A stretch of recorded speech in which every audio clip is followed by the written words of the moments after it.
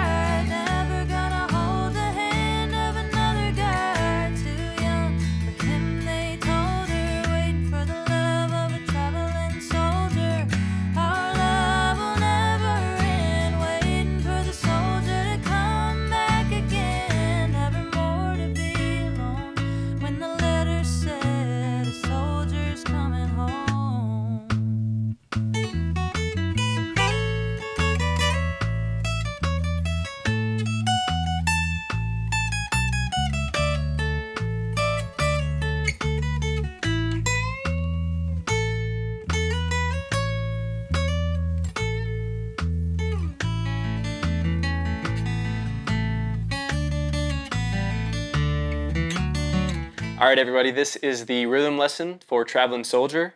Once again, we're in the key of A, uh, but for this one, we have our capo on the second fret. So we're thinking of our open G shape as our one chord.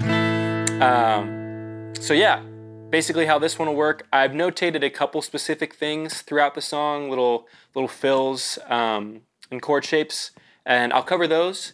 Uh, and other than that, we just got some different strumming patterns, and we'll make sure you got those under your fingers, and we should be good to go.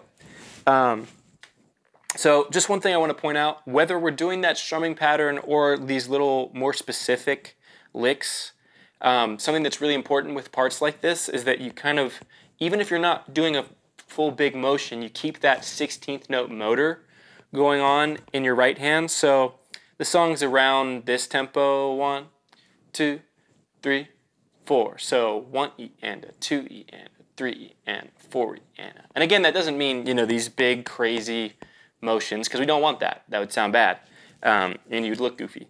But um, just make sure we have that in our back of our minds. Um, and it'll also help you keep your picking under, under uh, you know, under wraps when you're doing some of this more complicated stuff.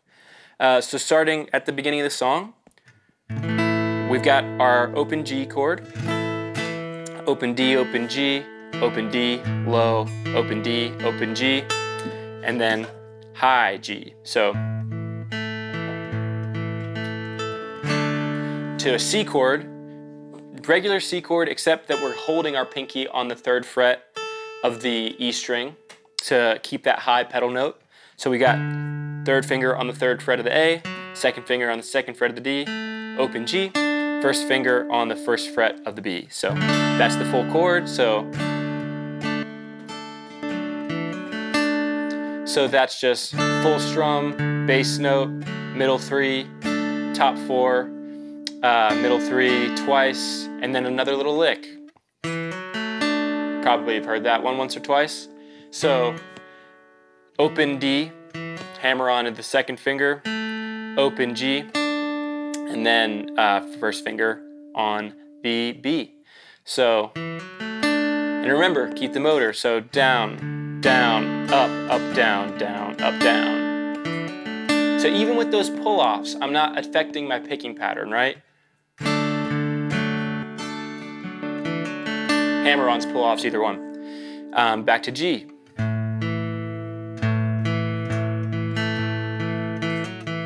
So that's just bouncing back and forth. Bass note, D, bass note, D, G. I think we're ready to try it to tempo. All right, so here's verse one. One, two, three, four.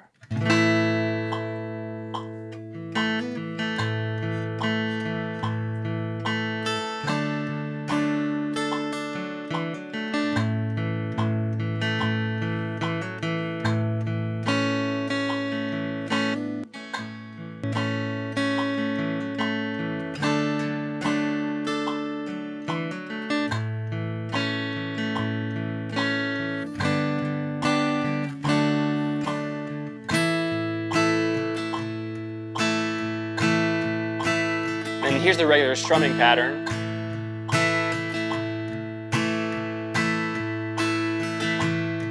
To C.